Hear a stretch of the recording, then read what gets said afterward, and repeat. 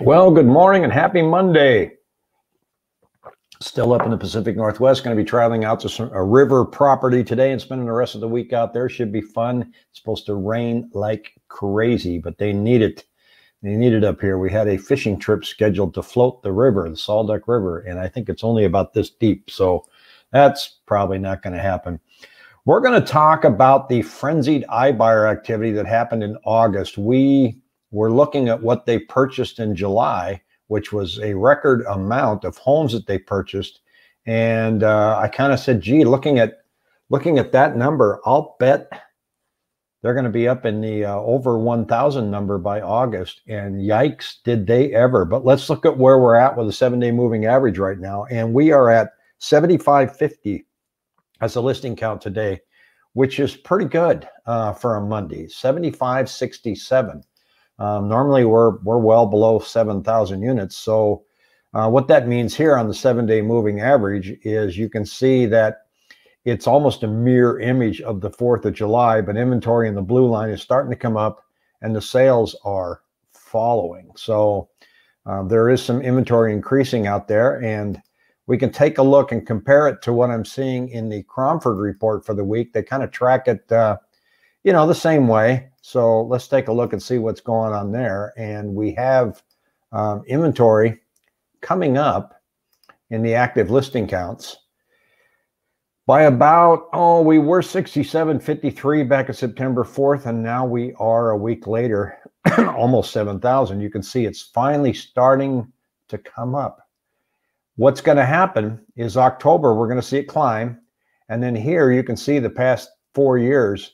This is November and that's a blank screen. So this is November and we start trending down for the holidays. So that's going to happen. There's no avoiding that. People just pull back their listings on the holidays and away we go. So October, you know, it could be a little bit of relief for buyers if we get more inventory. Um, it's it's going to be interesting. Carlos here says, I'm afraid of losing my job, as I'm sure others are. What could that do to the real estate market if millions like myself are laid off. Uh, let me talk about that for a second because um, in oh and, and when I talk about to you about this iBuyer activity, let me know what you think in the comment section. Carlos, you know when we had the stay-at-home order, it came in March. I was convinced that there would be such heavy job losses that it would affect the real estate market, and the only thing that saved it was a central bank intervention and stimulus checks. So it's really hard to tell if we have an economic event where millions of people lose their jobs, uh, what they're going to do. The Fed is kind of out of bullets. So it's going to be uh, reliant on whatever the Treasury decides to do. So we just don't know. There's no easy answer for that one.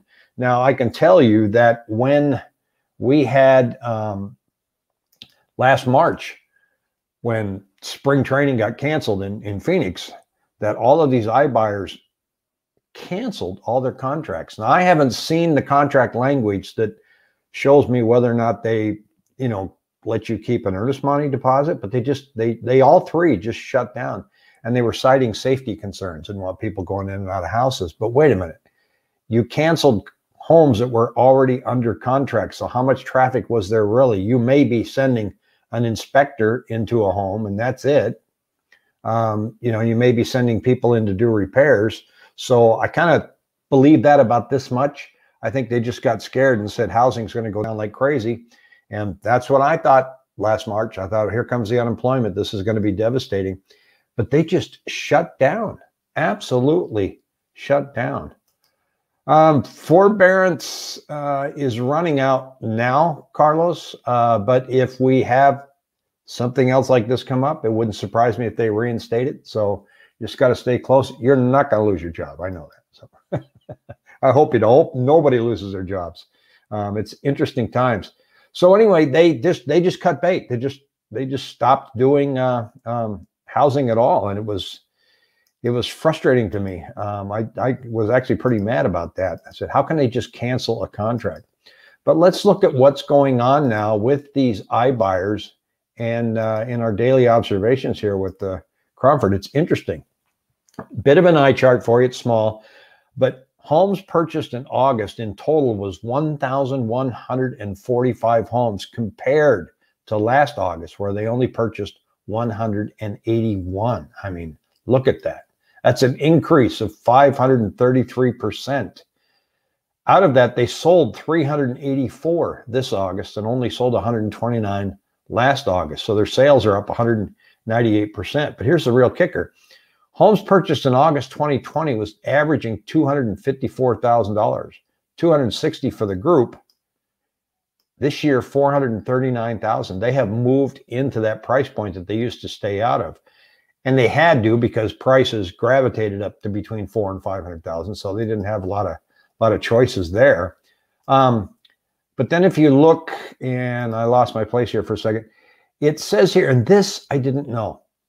Um, it said, uh, let's see, we note that the iBuyers are paying more for the homes than they are buying than the homes that they sell during the same month. The majority of the homes do not sell the same month that they are purchased, though it's becoming more common as an increasing number are sold to institutional investors we should remember, and this is what I didn't know, we should remember that the buy price is gross and includes the service charge that the iBuyer makes to the seller.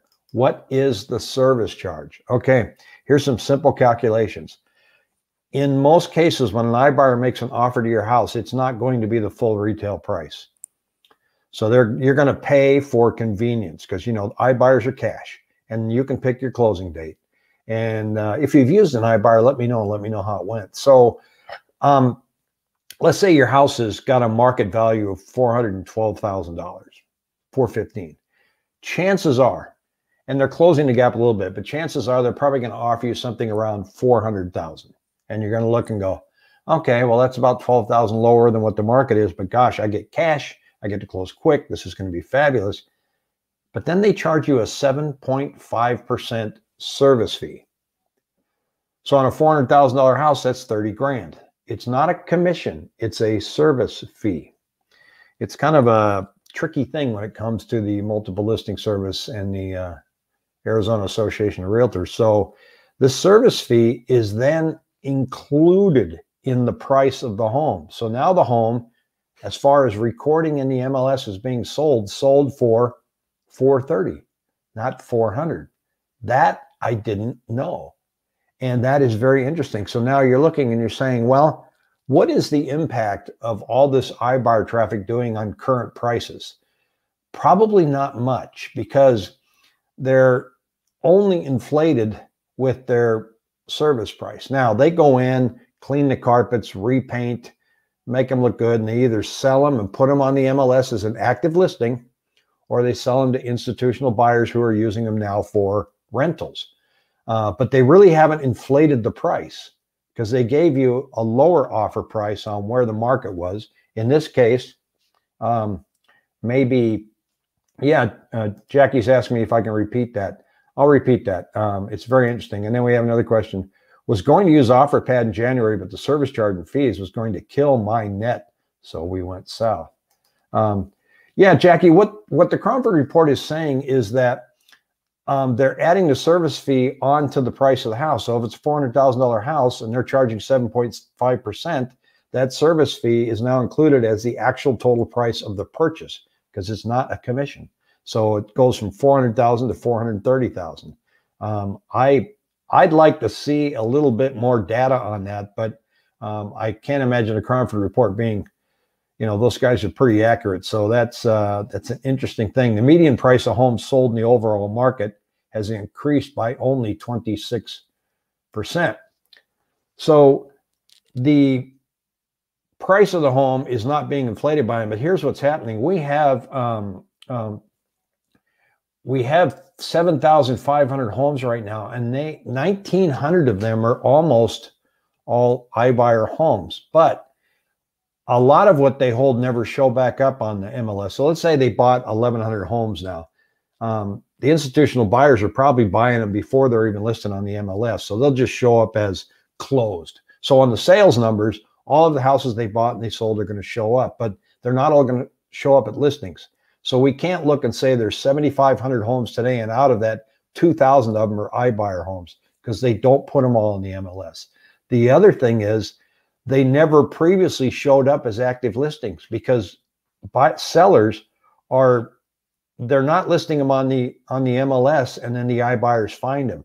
In some cases they do, but it's a small number. So the sellers are reaching out to these iBuyers for the convenience of selling their home online and getting a cash offer. So they're not rolling into the inventory numbers, but they are showing up in the sales numbers. I hope that makes sense. But they're going after it in a frenzied, frenzied uh, pace right now. And, and Jackie says uh, that's total manipulation of the market.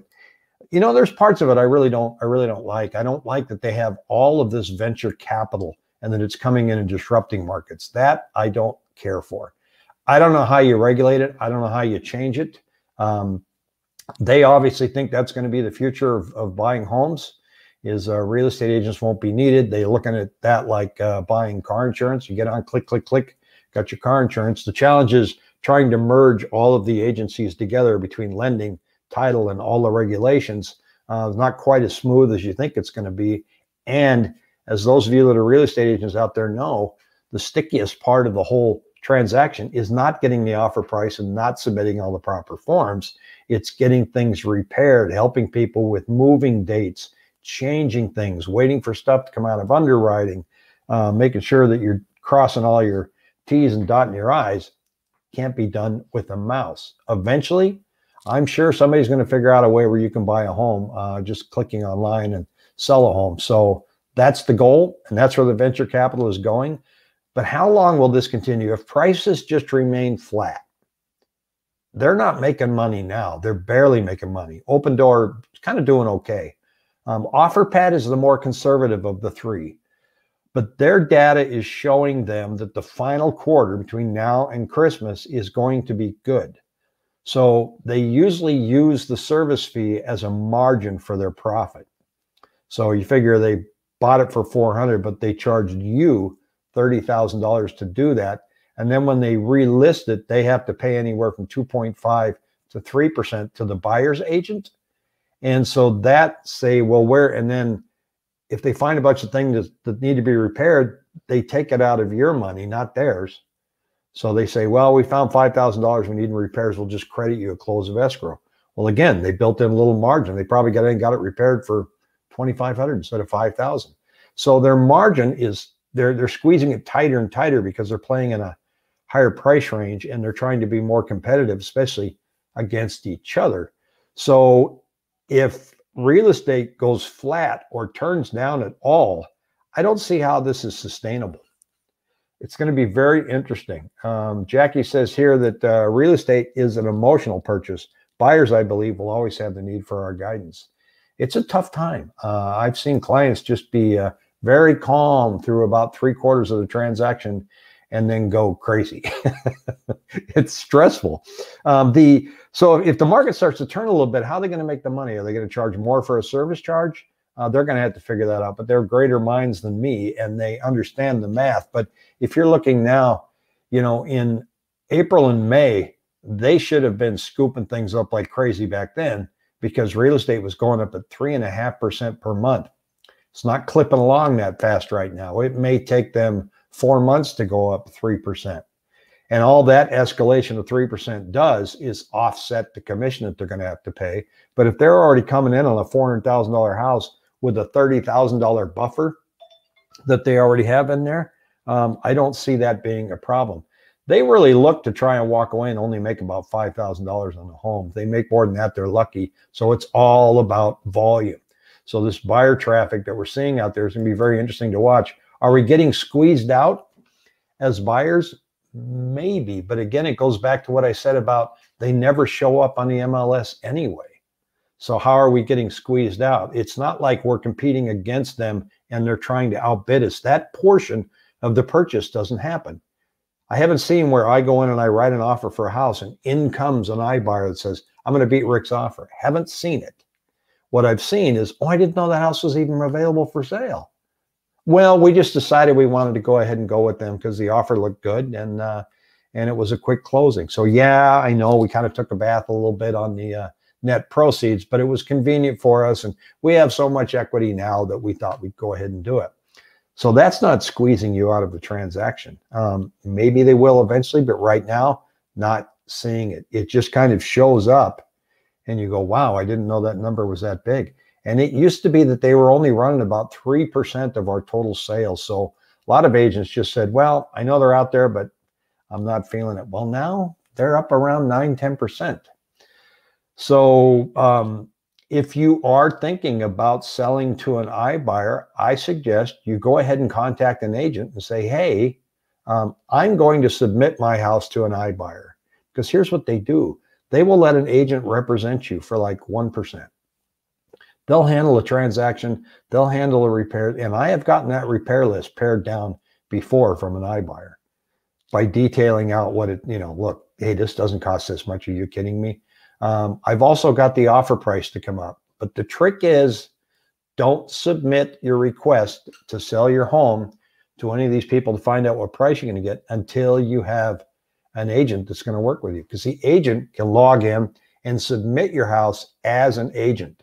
Doesn't cost you any more money. That 1% they pay the agent comes out of their their margin. So you still have the 20 the the uh, uh, service fee of 0.7 7.5%, that doesn't change. But instead of making five thousand dollars on the house, maybe they only make you know, you know, two thousand. So, but an agent can get in there and say, you know, I, I see what they've done. Um, I think we can change this. Um, uh, v Counter says everyday buyers would have would have had more options if these greedy iBuyers weren't getting first dibs on a huge majority of single family homes. Take they take away any extra options for families.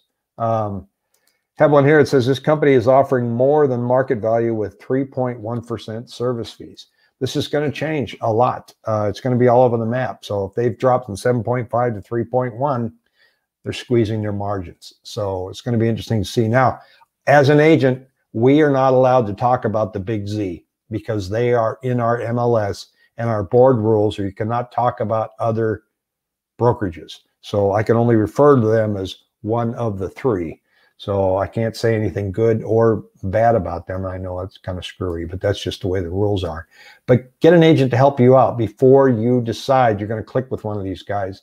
And it's going to be very interesting to see what happens after the first of the year. They're gobbling them up right now because they think they can move them. And I believe they can.